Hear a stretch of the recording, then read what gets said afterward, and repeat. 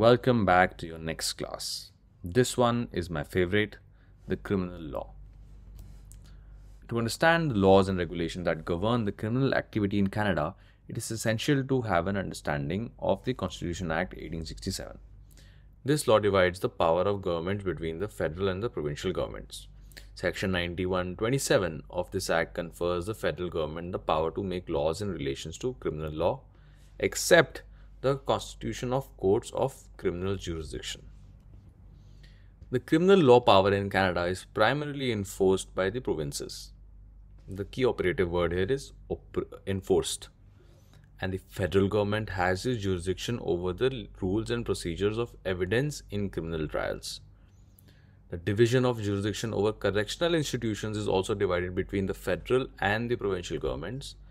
The provinces have jurisdiction over prisons which hold offenders sentenced to imprisonment for less than two years. And for the offenders who have an imprisonment sentence for more than two years, the federal government has jurisdiction over their penitentiaries. The provinces have an ancillary, which is a secondary ancillary secondary power to create penal provisions for the enforcement of valid provincial laws as outlined in section 92.15. This power has led to issues of paramountcy where similar federal and provincial laws coexist. Moving on to the definition of criminal law. The definition of criminal law includes three important ingredients. The first ingredient is there should be a prohibition, which is a specific act or behavior that is prohibited by law. Second, there is a penalty, which is a punishment or consequence for breaking that prohibition. Third, there is a criminal public purpose which is related to public peace, order, security, health, or morality. It's important to note that these three ingredients are not exhaustive and the definition of criminal law may vary depending on the specific context and interpretation of law.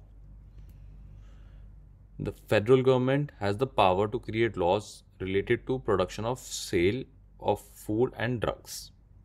The margarine reference case is an example of how government can use its power to protect public health. In this case, the federal government had passed a law prohibiting manufacturing or sale of margarine, claiming that it was injurious to health. The Supreme Court of Canada ultimately struck down this law.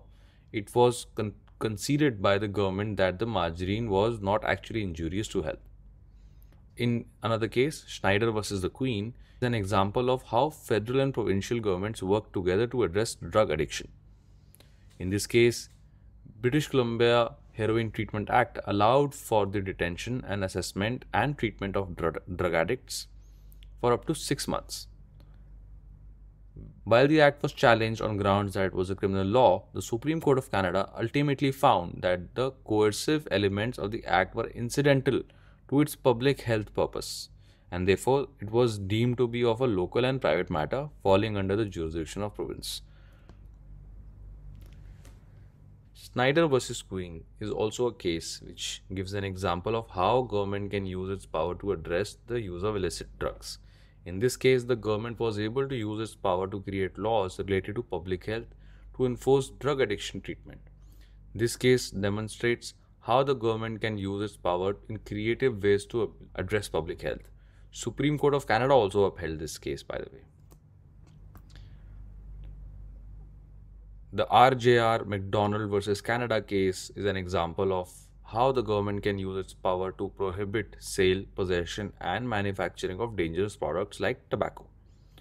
The Federal Tobacco Act included a prohibition on advertising cigarettes and other tobacco products, which was ultimately struck down on the grounds of freedom of expression.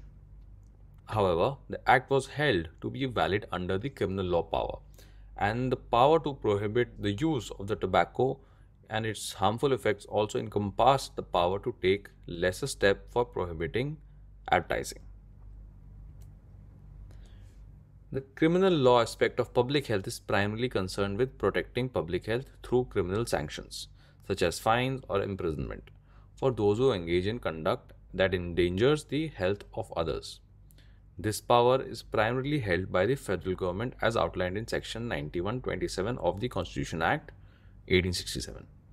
However, the provinces have jurisdiction over public health matters within their borders, including power to establish and enforce public health regulations such as quarantine measures, mandatory vaccinations, as outlined under Section 92.7 of the Constitution Act. In the context of COVID 19, both federal governments and provincial governments have exercised their respective powers to combat the pandemic.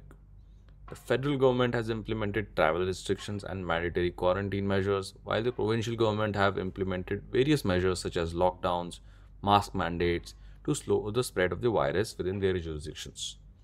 In summary, criminal law in Canada is primarily a federal responsibility, with provinces having ancillary powers, secondary powers, to create penal provisions for the enforcement of the valid provincial laws. The criminal law power encompasses a variety of areas including food and drugs, illicit drugs, tobacco, public health. The specific definition and interpretation of criminal law may vary depending on the context and the purpose of law. Environmental protection is an important topic that is closely related to health. Both these areas can be addressed by either federal or provincial government depending on the specific legislation in the question. The Supreme Court of Canada has upheld the Canadian Environmental Protection Act as a valid exercise of federal government's criminal law power to protect the environment. However, there is some debate about whether this act is criminal or regulatory in nature. The case of Morgentaler versus the Queen dealt with the validity of a provision in the criminal code that prohibited abortions except those approved by a hospital's therapeutic abortion committee the Supreme Court of Canada upheld the criminal law power of Parliament to prohibit termination of pregnancy even if the termination would not endanger the mother's health. This is in 1975. However, in a subsequent case, Morgentaler versus the Queen in 1988, the court declared the law to be in violation of Section 7 of the Charter of Rights and Freedom and struck it down. Parliament has not enacted a new law on abortion since, and the criminal code no longer prohibits the procedure. In Canada, competition policy is typically regulated at the federal level due to ability of economic activity to cross provincial boundaries and mobility of labor, capital and technology. The federal parliament has passed several acts over the years to regulate competition such as Combines Investigations Act and the Dominion Trade and Industry Commissions Act. These acts have granted various powers to regulators to investigate and prevent anti competitive behavior. In the modern day, competition policy in Canada is typically regulated under the trade commerce power. The Lord's Day Act, which prohibited work on Sundays, was originally considered a valid federal law because it had religious purposes. The Supreme Court of Canada confirmed that the federal government's criminal law power could be used to legislate in relation to preserving the sanctity of, a, of the Christian Sabbath and observing uh, an observance of days of religious significance. However, in Edwards Books, the Supreme Court ruled that the laws that restrict business hours have secular purpose, such as providing pause days, are valid under provincial power to regulate property and civil rights. The Firearms Act 1995, which regulated all guns to be registered and all gun owners to be licensed, was a valid exercise of the federal government's criminal law power. The purpose of the act was to restrict access to inherently dangerous things in order to protect public safety. The act's requirement, including criminal law records, checks, and mandatory safety courses, were all directed towards this goal. The court also determined that the act was not merely regulatory and it was enforced through criminal law means such as prohibitions and penalties. The criminal law power can be used to prevent crime even if the law does not have traditional characteristics of a criminal law. For example, binding someone to keep the peace or controlling gun possession are both examples of law that aim to prevent crime. The federal government has the power to legislate in relation to criminal law, including laws aimed at preventing crime, and programs to divert young offenders from the criminal justice system. The Young Offenders Act and the Youth Criminal Justice are two examples of federal laws aimed at preventing crime and rehabilitation of young offenders. Now we are going to talk about criminal law and criminal remedy. On this slide, we have two important points to discuss. Firstly, we see that the federal government generally does not have the power to create civil remedies. If a federal law is intended to create a if a federal law is intended to create a new civil cause of action, it will likely to be it will likely be invalid as it falls under the provincial power of property and civil rights. However, if a civil remedy is incidental to the main purpose of federal law, it may be upheld. The Supreme Court of Canada has used the functional connection test to determine the validity of such remedies in federal corporation law and federal competition law. Moving on, the Criminal Code of Canada has the authority to authorize a criminal court to order an accused person to pay compensation to the victim for any loss or damage caused. This provision was upheld by the Supreme Court of Canada in case of R versus Zelensky. In conclusion, these two points illustrate the difference between federal power to create civil remedies and criminal law power to create civil remedies. Now we are discussing the relationship between criminal law and regulatory authority. In general, the government's criminal law power cannot support a regulatory regime or scheme that relies on more sophisticated tools than a simple prohibition and penalty. The first case we are looking at is Nova Scotia Board of Censors versus McNeil, where Supreme Court of Canada ruled that censorship of films was not criminal. Instead, they upheld the censorship law as a regulation of an industry within the province, falling under the rights of provincial head of power or under property and civil rights. Moving on to R versus Hydro Quebec case. Hydro Quebec was prosecuted for violating an interim order that restricted the emission of substance to 1 gram per day. The majority upheld that the act was a criminal law because of the administrative procedure for assessing the toxicity of the substance resulted in prohibition enforced by penal sanction, making the scheme sufficiently prohibitory. This reasoning was affirmed in the case Re Firearms Act, which dealt with the regulation of firearms through licensing. Finally, in the Reference Re Assisted Human Reproduction Act 2010, the federal government passed the Assisted Reproduction Act 2004 to regulate the field of assisted human reproduction. Finally, in Reference Re Assisted Human Reproduction Act 2010, the federal government passed the Assisted Reproduction Act 2004 to regulate the field of assisted human reproduction containing prohibitions and provisions for enforcing them. The Quebec Court of Appeal ruled that some provisions of the act were invalid as criminal law because their main purpose was regulation of medical practice and research, which was outside the federal government's jurisdiction. In summary, the government's criminal power cannot support a regulatory regime that goes beyond a simple prohibition and penalty. However, the regulations that rely on prohibitions enforced by penal sanctions can be upheld by criminal law. And I'll repeat the government's criminal law power cannot support a regulatory regime that goes beyond simple prohibition and penalty. But regulations that rely on prohibitions enforced by penal sanctions can be upheld under criminal law. The dividing line can be a blurry one as shown in these two cases, but it will be again clear when we do analysis, when we apply the rules, depending on the case that has been presented to us during the exams. The provincial powers to enact penal laws. This power grants provincial legislatures the authority to impose fines, penalties, and imprisonment for enforcing valid provincial laws. Let's explore the subject and understand its nuances. Under Section 9215 of the Constitution Act, provincial legislatures in Canada possess the power to enact penal laws.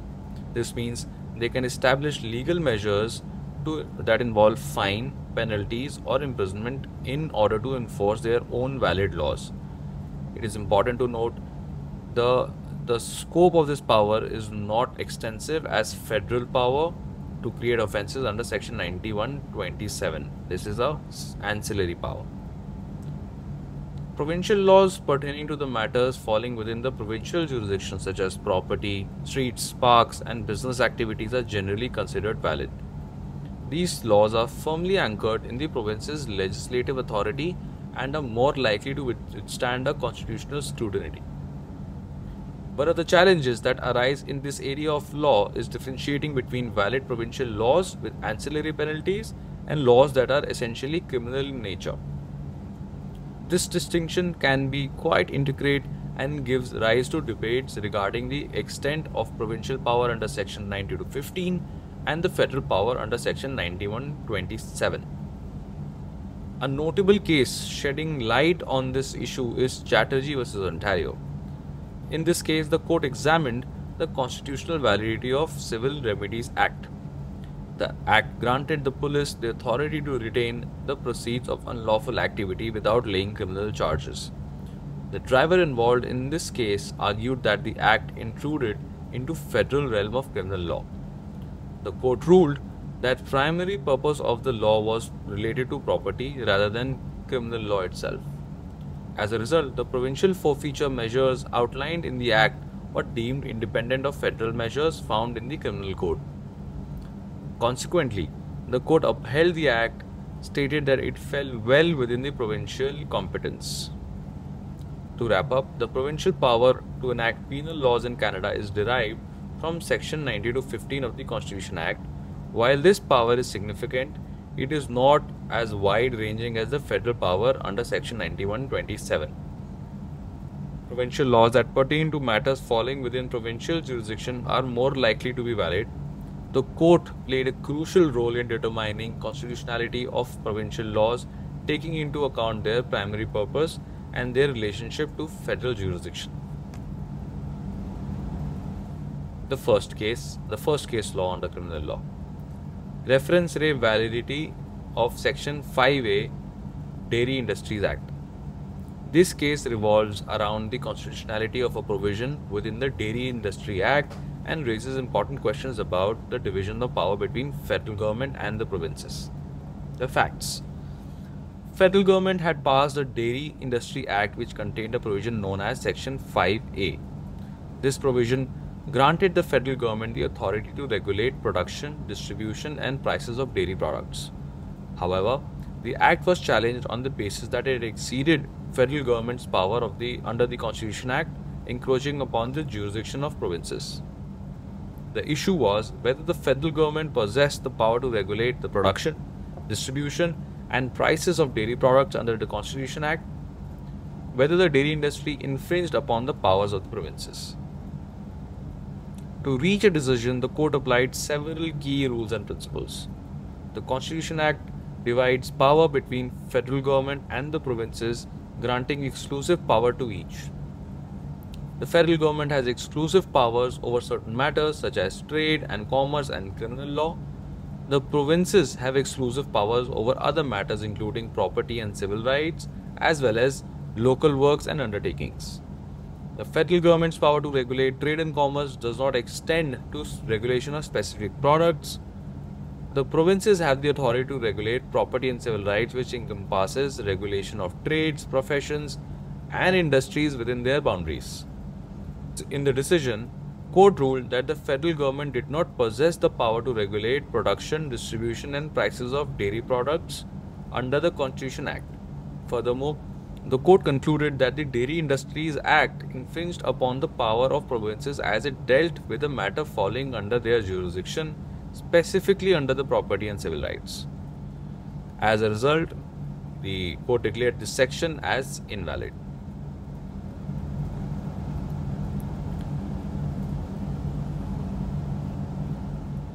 Now let's talk about Reference Re Firearms Act which is a landmark case heard by Supreme Court in year 2000. This case concerned the constitutionality of the Firearms Act, which is a federal law that regulated the possession, use and storage of firearms in Canada. The federal government had passed the Firearms Act to address concerns around public safety and crime prevention. However, the act was challenged on the grounds that it exceeded federal government's power under Constitution Act and infringed upon the powers of the provinces. The main legal issue before the court were whether the federal government had the power to regulate firearms under the Constitution Act, whether the act infringed upon the provinces.